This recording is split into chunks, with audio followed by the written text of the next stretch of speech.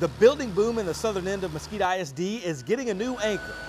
It's big, modern, and quite a head turner. Henrie Elementary is named for former superintendent Dr. Linda Henrie. She thinks this is the type of place that can not only educate, but inspire. It just is a tremendous, tremendous honor uh, for me. And to know that children can come here and have a sense of, of hope for what they can eventually do and become uh, is, I just can't imagine anything much better. Henrie Elementary has all the bells and whistles you could want in a school.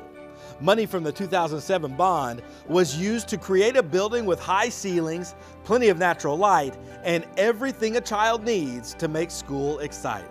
As you walk through the building, you can see that the whole design is laid out to promote learning. There are computer labs, uh, art rooms, music rooms, a dedicated science lab, and all of that uh, provides learning opportunities for children. And I think it also reflects our philosophy in the district about educating the whole child. The wide halls and spacious classrooms will help make school an enjoyable experience. But the building also has something that's a little harder to see, something that will be very important to the kids that will soon walk these halls. No matter what you do, a child must feel safe and they, they must be comfortable in their environment and they will be here